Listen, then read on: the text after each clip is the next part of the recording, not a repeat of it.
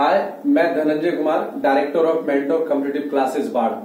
जैसा कि हमने आपको बताया था कि अभी मेंटर क्लासेस के द्वारा आपको टेलीग्राम पे सुबह शाम ऑनलाइन लाइव क्यू चल रहा है। तो हमने बोला था कि तीन तारीख से हम लोग जो है यूट्यूब पे क्लास लेंगे, लेकिन तबियत खराब होने की वजह से हम लोग क्लास नहीं ले पाए, उसके लिए हम क्षमा चाहते हैं। और माय डियर स्टूडेंट्स आज हमारा पहला क्लास है। और जैसा कि आप लोगों ने ग्रुप में कहा था आज सर जो है, आप सिंपल इंटरेस्ट अर्थात साधारण ब्याज का वीडियो बनाएँगे। तो जैसे जैसे आपका चॉइस होगा, हम लोग लगभग पंद्रह चैप्टर कवर कर लेंगे ड्यूरिंग लॉकडाउन यानी टिल जून तक। तो उसमें हम लोग आज पहले टॉपिक जो लिए हैं, वो है हमारा साधारण ब्याज सिंपल इंटरेस्ट देखिए, आम तौर पे आप लोग सभी जानते हैं, साधारण ब्याज क्या होता है? कोई मूलधन की राशि होती है, कोई भी राशि आप लेते हैं, जिसको पी बोलते हैं प्रिंसिपल बोलते हैं ठीक है? कुछ इंग्लिश मीडियम के भी बच्चे हैं, थोड़ा इंग्लिश सुन लेंगे वो। तो और क्या होता है? और हमारे लिए रेट होता है, यानी दर होता है। और क्या होता है? समय होता है। समय को टी से भी सूचित किया जाता है। कहीं कहीं आप देखेंगे उसको एन से भी सूचित किया जाता है। डजेंट मैटर है ना? तो आमतौर पे जो साधारण ब्याज होता है हमारा, यानी एस आई यानी सिंपल इंटरेस्ट वो क्या होता है? P into R into T by hundred ठीक है? और इसी से हम लोग सब फॉर्मूला निकाल सकते हैं। इनके सब हमको पी निकालना यानी मूलधन निकालना तो क्या लिख सकते हैं? ब्याज गुने सौ बटे दर गुने समय। आर निकालना हो तो फिर नीचे में मूलधन गुने समय आ जाएगा। इस प्रकार अगर टी ज्ञात करना हो तो फिर, जैसे मान लीजिए आपको सपोज़ कीजिए कि आपको टी निकालना था तो क्या निकालते एस आई यानी सिंपल इंटरेस्ट यानी साधारण ब्याज गुने सौ बटे मूलधन गुने समय। ठीक है? एक और सा पॉइंट था आपका, चूँकि इनिशियल पॉइंट है ए जिसको आप अमाउंट कहते हैं या कहते हैं आप लोग। अमाउंट यानी मिश्र धन। ठीक है? तो आमतौर पे मिश्रधन किसको कहते हैं? मूलधन तो आप समझते हैं कि जो धन आप देते हैं या जो धन आप उधार लेते हैं, वो मूलधन कहलाता है। जिस फिक्स रेट पे आप लेते हैं, वो दर कहलाता है। जितने समय के लिए लेते हैं, वो टाइम कहलाता है। अमाउंट क्या है? सवाल यह है हमारे पास कि अमाउंट क्या है? तो अमाउंट क्या है? तो मिश्रधन क्या होता है? मूलधन, यानी प्रिंसिपल बार बार हम इंग्लिश बोले ताकि कुछ बच्चे, जो लोग इंग्लिश मीडियम के, वो ध्यान से सुनेंगे। तो मूलधन प्लस आपका जो ब्याज है, आपका जो इंटरेस्ट है, वो मिलाकर क्या बनता है? मिश्रधन। और इस मिश्रधन को अकॉर्डिंग क्वेश्चन जब आप आएँगे या हम लोग आज पढ़ेंगे तो इस मिश्रधन को दे धन भी कहा जाता है। जी दे धन। या कभी कभी आप देखते हो क्वेश्चन में लिखा रहता है कि कितना हो जाएगा। तो ये जो हो जाएगा जो टर्म है, वो भी टर्म मिश्रधन कहलाता है। ठीक है? तो ये हमारा बेसिक पॉइंट था जिसमें P principal R rate T time A amount तो ये सब बेसिक पॉइंट्स थे। बाकी बेसिक पॉइंट्स कुछ नहीं है। बाकी आप लोग जानते हैं, साधारण ब्याज किसे कहते हैं? अच्छे से पता है आप लोग को। तो इस बेसिक पॉइंट्स के बाद जो है हम लोग सीधे सीधे टाइम चूँकि कंज्यूम नहीं करते, चूँकि यूट्यूब पे लंबा वीडियो फिर चला जाता है, फिर बच्चे इंटरेस्ट नहीं ले पाते तो टाइम नहीं कंज्यूम करते, हम लोग सीधे सीधे टाइप पे पहुँचते हैं कि साधारण ब्याज में जो एग्ज़ाम में जो टाइप पूछा जाता है, वो टाइप क्या होता है? ठीक है? चूँकि इसलिए हमने बुक का भी व्यवस्था किया है, ताकि कि अगर बुक से भी कोई दिक्कत हो, कोई क्वेश्चन यहाँ से भी करना हो तो हम लोग यहीं पर देख लेंगे, ठीक है? तो बुक भी हम लोग इसलिए अरेंज कर लिए कोई दिक्कत नहीं होगा। जो भी कुछ थोड़ा थोड़ा आज फ़र्स्ट है थोड़ा थोड़ा प्रॉब्लम अगर होगा तो उसको हम लोग मैनेज करेंगे। धीरे धीरे कल से मतलब हर दिन जैसे जैसे हम लोग आगे बढ़ेंगे ना नेक्स्ट डे से बेहतर करेंगे। हाँ इस बात का ध्यान रखिएगा। ठीक है? चलिए। तो आप लोग चाहेंगे अगर पेन पेपर निकालेंगे तो आप निकाल सकते हैं। और टाइप वन आप लोग बनाएँगे। बहुत सारा टाइप पढ़ने को है। उसमें हम लोग टाइप वन पे चर्चा करें। सबसे ज़्यादा जो साधारण ब्याज में हमसे सवाल पूछा जाता है, सबसे ज़्यादा या यूँ कहा जाए कि थोड़ा डिफ़िकल्ट डिफ़िकल्ट पे ही आइए। सबसे डिफ़िकल्ट पॉइंट्स को हम लोग पहले लेते हैं। तो वो क्वेश्चन जो आता है हमारा, वो आता है किस्त पर आधारित प्रश्न। किस्त पर आधारित प्रश्न। Problem based on instalment problem based on instalment ठीक है? इसको हम लोग दो पार्ट में वीडियो बना देंगे, थोड़ा छोटा रहेगा तो इंटरेस्टेड ज़्यादा होगा। प्रॉब्लम बेस्ड ऑन इंस्टॉलमेंट की जब हम लोग बात करते हैं तो आप आराम से इस बात को समझ सकते हैं कि प्रॉब्लम बेस्ड ऑन इंस्टॉलमेंट जैसे हम लोग कोई सामान खरीदते हैं तो हम पूरी राशि नहीं चुकाते, कुछ राशि देते हैं और बाकी राशि को हम लोग किस्त के रूप में देते हैं। तो वो क्वेश्चन सबसे ज़्यादा पॉपुलर होता है। आमतौर पे किस्त के प्रश्न का डायरेक्ट जो फॉर्मूला है, लोग ऐसे भी बनाते हैं नॉर्मली लेकिन चूँकि कॉम्पिटेटिव है, हमारे पास टाइम का अभाव होता है। तो किस्त का फॉर्मूला है? हंड्रेड इंटू पी पी को आप पहले से समझ पा रहे हैं कि पी का मतलब क्या होता है? पी का मतलब होता है मूलधन। हंड्रेड गुने टी टी मतलब टाइम, कहीं कहीं एल भी रिप्रेजेंट किया जाता है plus R T into T minus one by two एकदम ध्यान से एक एक पॉइंट्स को हम लोग समझा देंगे इवन एग्ज़ाम्पल लेकर भी। जब भी किस्त का प्रश्न हो तो किस्त बराबर होता है सौ गुने पी मतलब मूलधन। आप अच्छे से जानते हैं पीछे बता चुके आप ध्यान देंगे। मूलधन plus hundred into T T का मतलब time plus R T into T minus one by two तो जब भी किस्त का क्वेश्चन हो तो किस्त का क्वेश्चन ऐसे नॉर्मली जब आप बनाएँगे या किताब में देखेंगे तो काफ़ी लंबा दिया होता है। जैसे क्वेश्चन हम आपको दे भी देते हैं साथ में, आप एग्ज़ाम्पल देख लीजिए तो ज़्यादा बेहतर होगा। क्वेश्चन क्या कहता है कि आठ सौ अड़तालीस रुपए की राशि, देखिए, राशि मतलब वही मूलधन। हिंदी, अंग्रेज़ी जो भी हो सब लिखा रहेगा। आठ सौ अड़तालीस रुपए की राशि को चार वर्ष में चुकाने के लिए टी इजकल टू कितना? चार वर्ष फोर इयर्स चार वर्ष में चुकाने के लिए कितने प्रति वर्ष, कितने किस्तों का भुगतान करना होगा? किस्त की राशि पूछ रहा है कि क्या हो? यदि ब्याज की दर चार प्रतिशत वार्षिक हो। अब आप जरा ध्यान से देखेंगे। यहाँ पे फाइंड आउट क्या करना था? पी टी और आर फिर तो टी ही है। तो पी आर टी जरा ध्यान से देखिए पी का वैल्यू दिया गया है आठ सौ अड़तालीस टी बराबर चार आर बराबर लीजिए। अब तो आप भी निकाल सकते हैं, हम कैलकुलेशन तो पूरा नहीं कर सकते ना, चूँकि ऑनलाइन क्लास है भाई तो यहाँ पे कैलकुलेशन जितना कम हो। तो आप देखिए, सौ इंटू पी तो सौ इंटू पी बटे hundred into T T plus R T R भी संजोग से, चार है और टी भी चार है। और टी माइनस वन यानी फोर माइनस वन थ्री और बाई टू टू टू मतलब आफ्टर वन जो भी आ जाए सॉल्व से क्या मतलब है हमको? जब आप सॉल्व करेंगे तो जो भी राशि यहाँ आएगी, जैसे अगर कहा जाए कि सर कितना आएगा तो आएगा दो सौ रुपया, वो आप सॉल्व कर लेंगे या कर लेंगे, ठीक है? हमने बस बता दिया आपको। इस प्रकार जब किस पे आधारित प्रश्न हो तो हमको तीन चीज़ों का मालूम होना चाहिए। पी आर और टी और पी भी हमको पता है आर भी पता है और टी भी पता है। अब सवाल है सर यहाँ से दूसरा क्वेश्चन भी आएगा। कभी कभी क्या होगा कि किस्त का ही मान दिया रहेगा? किस्त का मान दिया रहेगा? आर और टी दिया रहेगा, मूलधन पूछेगा। यानी यहाँ से दो क्वेश्चन पूछा जाता। है या तो फिर राशि के बारे में आपसे पूछा जा रहा है, या तो फिर किस्त के बारे में आपसे पूछा जाता है। ठीक है? तो राशि के बारे में या किस्त के बारे में पूछा जा रहा हो तो ठीक है। अगर राशि के बारे में पूछा जाएगा तो ये निकालना है। डेट मीन पी प्रिंसिपल और अगर किस्त के बारे में पूछा गया तो ये निकालना है। तो ये हमारा टाइप वन हो गया। ठीक है? आप इसका स्क्रीनशॉट ले लीजिए। किस्त के बाद हम लोग दूसरी टाइप में आते हैं कि दूसरा टाइप क्या है हमारा? कभी कभी आप लोग पढ़ते हैं किसी धनराशि के बारे में, आप जैसे क्वेश्चन आता है ना, कि कोई धनराशि है जो पाँच वर्ष में चार प्रतिशत की दर से दुगना हो गया तो या कुछ भी इस तरीके का क्वेश्चन कितना गुना हो जाता है। तो यदि कोई धनराशि जो है टाइप टू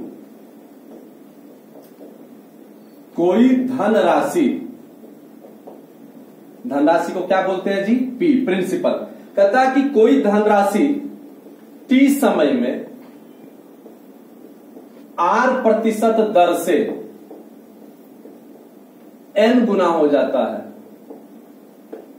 क्या हो जाता है? एन गुना हो जाता है। तो आपसे क्वेश्चन पूछा जाता है कि बताइए कि वो दर किस दर से? यही दर का मान पूछता है। तो दर बराबर, यानी आप जो आर बराबर आप पढ़ते हैं एन गुना हो जाता है तो एन माइनस वन ठीक है? ध्यान से देखिएगा, चाहे वो तीन गुना हो तो तीन माइनस वन दो गुना हो तो दो माइनस वन तो N minus one by T T आप देख पा रहे हैं ना टी धनराशि का कोई यहाँ पे ज़रूरत है नहीं आपको, वो दिया है, नहीं दिया उसको मैटर ही नहीं करता। तो आर बराबर N minus one by T चूँकि प्रतिशत में होता है, इसलिए ये क्या देते हैं? हंड्रेड जैसे मान लीजिए कभी कोई क्वेश्चन एराइज आपसे कर दिया जाता है, जैसे हम आपको एक क्वेश्चन ही ले लेते हैं एग्ज़ाम्पल में। जैसे दे दिया कि कोई धन राशि, देखिए यहाँ एग्ज़ाम्पल भी आप देखते जाइए। जैसे दे दिया कि कोई धनराशि धनराशि का अमाउंट नहीं दिया हुआ, सीधे देगा कोई धनराशि दस वर्ष में टी दिया हुआ है, दस वर्ष में किस दर से? तो दर बराबर वाट, दुगनी हो जाती है। यानी एन बराबर कितना जी? दो गुनी अब यहाँ भी क्वेश्चन ये भी हो सकता था, सर चार गुनी हो जाती है? कोई प्रॉब्लम नहीं एन का मान चार हो जाता।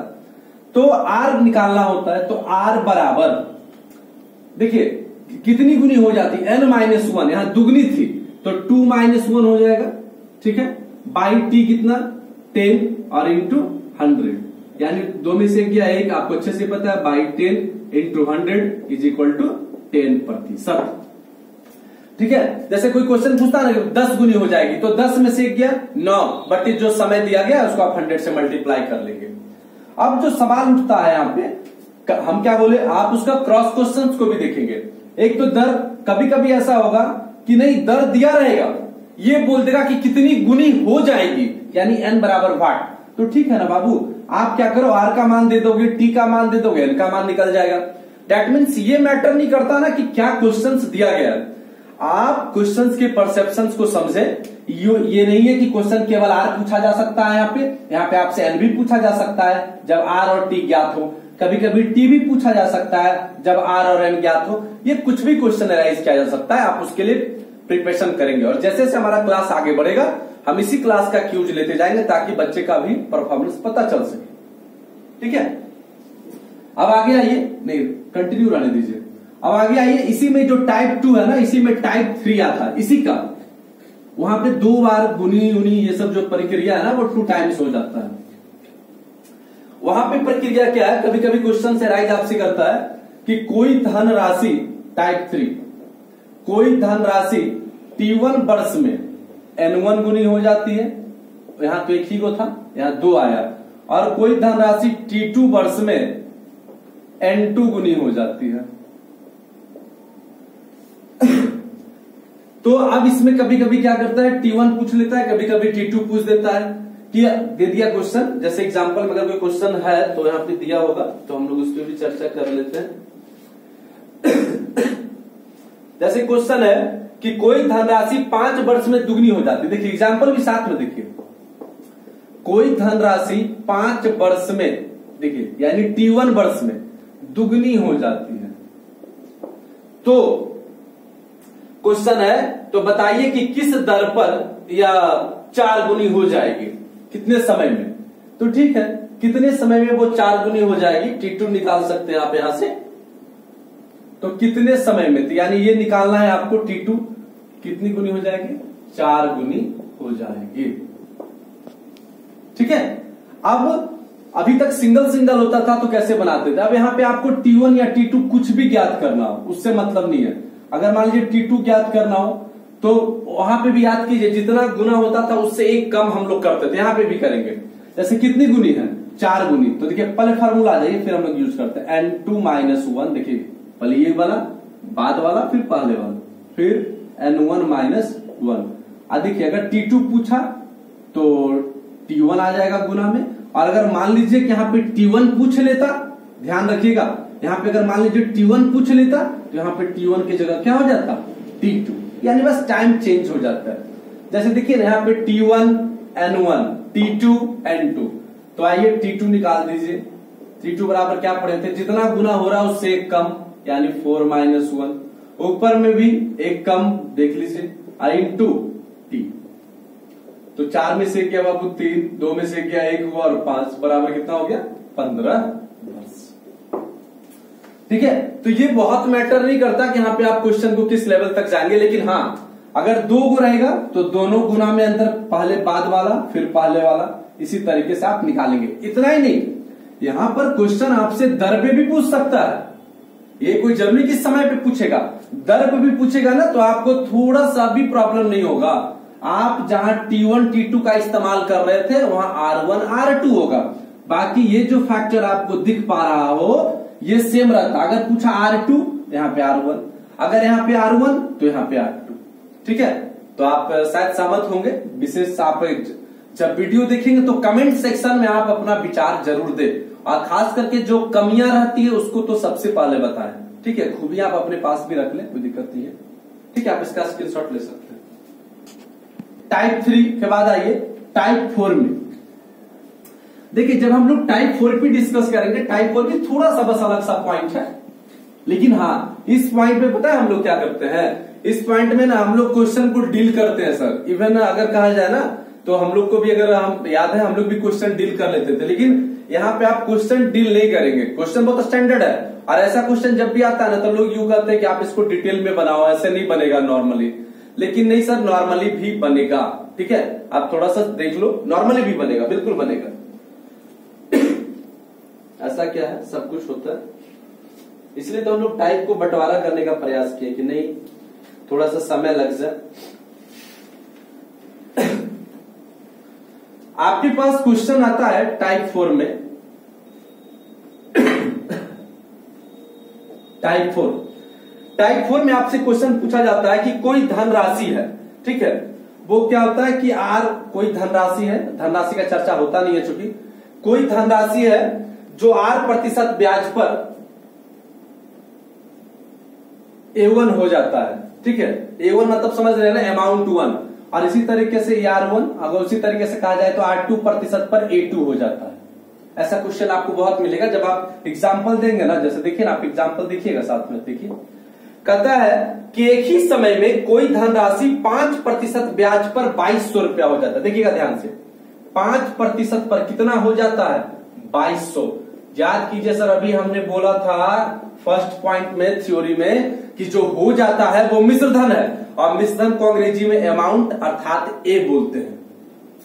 यहाँ पे हम लोग ए वन ए टू इसलिए लिए क्योंकि यहाँ पे डबल डबल था ना तो ए वन ए टू ले लिए। अगर सिंगल होता तो नहीं लेना ज़रूरत पड़ता।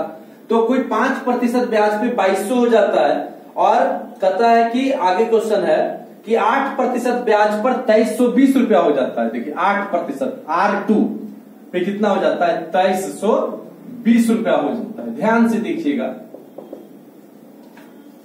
पाँच प्रतिशत पे बाईस सौ हो जाता है और आठ प्रतिशत पे तेईस सौ बीस हो जाता है। ठीक है? चले यहाँ से। तो क्वेश्चन कहता है कि वह समय क्या होगा? समय बराबर वाट यहाँ पे भी आप समझते टी टू वाट होता। है यहाँ भी पूछ रहा आपसे टी टू वाट ये थ्योरी है, ये प्रैक्टिकल पॉइंट्स है आपका। आप वीडियो को बार बार रिमाइंड करेंगे, ना तो खुद पता चल जाएगा। तो टी बराबर जो फॉर्मूला होता है, देखिए फॉर्मूला को पहले पढ़िए। फॉर्मूला क्या था? मिश्रधन का अंतर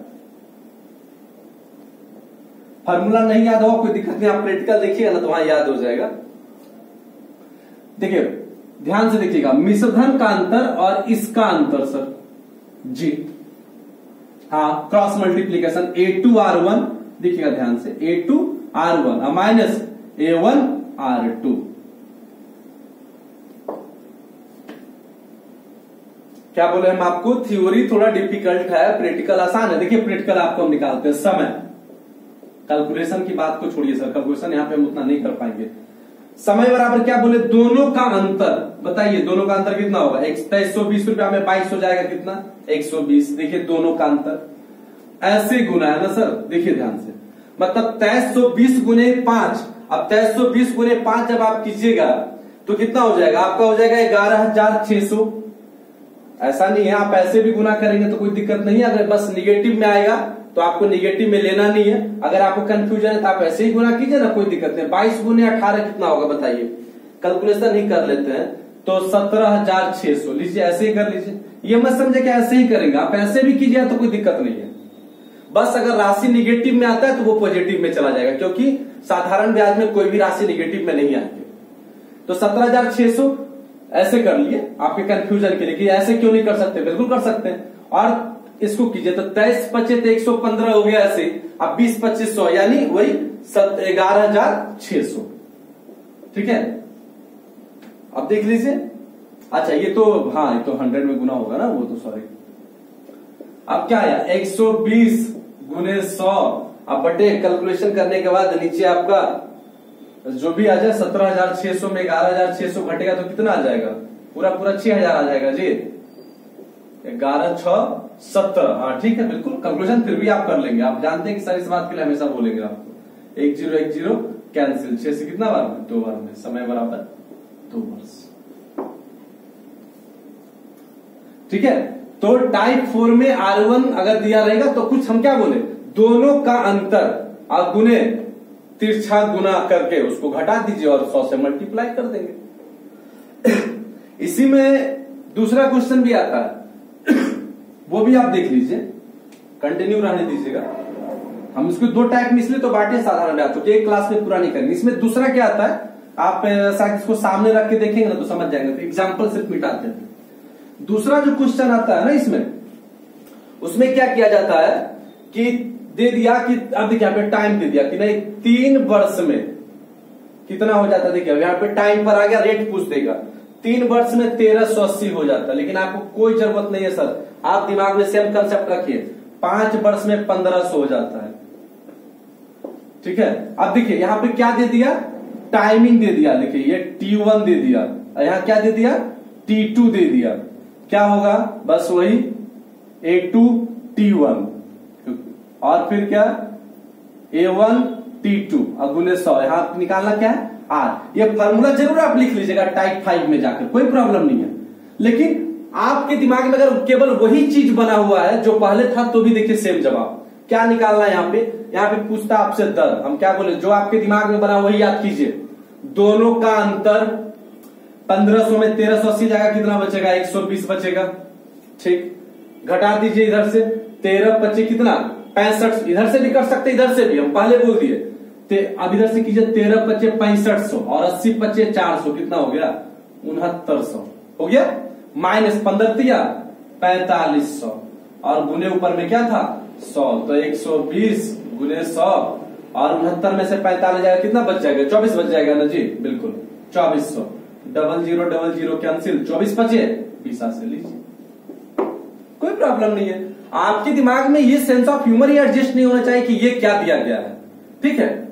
तो ये हम आपका पाँच टाइप बताए, और रेस्ट ऑफ़ जो थ्री फोर टाइप्स है, वो हम आपको कल फिनिश करेंगे क्योंकि पहला दिन का क्लास है, तबियत हमारा भी ठीक नहीं है, बहुत अच्छा हम भी नहीं कर पा रहे और फिर से एक बार हम वीडियो समाप्त करने से पहले आपसे रिक्वेस्ट करते हैं, आप वीडियो को ध्यान से देखिए, कोई भी कमी होता है, हम पहले बोल रहे हैं, आप खूबियाँ ना बताएँ कमेंट सेक्शन में हमको।